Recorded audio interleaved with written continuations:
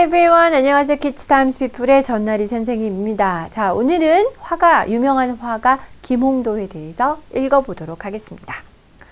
From an early age, 자, 이른 나이부터 Kim's palace artwork included solemn portraits of kings to a Taoist hermit of eternal life called 어, 신, 신선. 우리로 치면 신선이 되겠죠? 김홍도는 일찍부터 이제 궁정 화가로서 작품을 남겼을 때, 자, 썰름이라는 거는 아주 그렇게 뭐랄까 되게 무겁고 심각해 보이고 굉장히 장엄한 이런 의미죠. 그래서 누가? 왕이죠, 왕. 왕들의 굉장히 이렇게 위험이 있는 그런 토상화를 그리기도 했고요. 타오이스라는 건 이제 우리가 장자, 도교 이렇게 그 도교 사상이 되겠죠. 그래서 어, 일명 신선이라고 불리우는 영생의 그런 hermit, hermit이 뭡니까 여러분? 은자, 막 숨어서 이렇게 사는 도인 이런 사람들에 이르기까지 이런 사람들을 계속 그렸다는 거죠. But he was better known for illustrating people outside the palace walls. 그래서 여러 가지 막 신성 같은 사람도 그리고 왕도 그리고 했지만 김홍도는 정말 백성들의 삶을 아주 이렇게 그 굉장히 묘사를 잘한 것으로 유명하셨죠. 그래서 사실은 이걸로 더 잘 알려진 건데요. 그 궁정 바깥의 일반 백성의 삶들을 묘사하는데 훨씬 더 유명했습니다.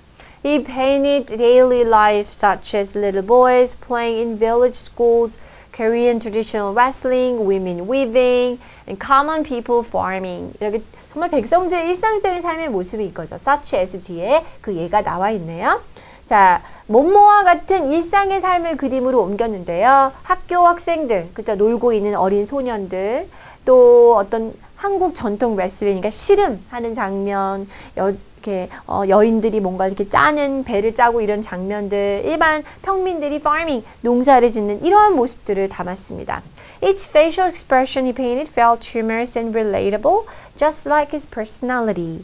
자, 그가 표현한 이 사람들의 표정, 이런 것이 굉장히 humorous, humorous 하면서도 재미 이게 위트가 있으면서도 또 굉장히 이렇게 마음이 연관이 되어 보이는 그러니까는 굉장히 이입하기가 좋은 그쵸 마치 그 사람의 성격처럼 His paintings influenced Korean art and is still admired today. 그렇죠. 그래서 이 김홍도의 작품은 한국의 예술에 많은 영향을 주었고요. 오늘도 많은 사람들에 의해서 존경을 받는 작품이 되겠습니다. 자, 관련된 단어 풀이를 해보도록 할까요? 자, 먼저 가로 1번 보겠습니다. A person who lives in a simple way apart from others. 다른 사람들로부터 좀 떨어져서, 그러니까 막 세상에서 어울리는 것이 아니라 떨어져서 혼자 아주 단순하고 간단하게 이렇게 사는 그런 삶. 우리가 이런 걸 뭐 숨어서 사는 그런 뭐, 뭐 은, 은자 이런 표현을 쓰는데 이게 바로 hermit 되겠죠. 숨어서 이렇게 은둔하는 사람. 그런 의미로 씁니다. Number four, to make something such as cloth by crossing thread. 실을 갖다가 이렇게 교차해서 짜는 거 우리 아까 했었죠 weave가 되겠네요 그죠 자 새로 1번 볼까요 the experience of being alive 살아있는 경험 이렇게 살아있는 우리의 이 생명의 삶 그죠 life가 되겠네요 to feel respect 존경하고 막 좋아하고 감탄하는 거 admire가 되겠습니다 alright okay that's all for today. I'll see you next time. Bye bye everyone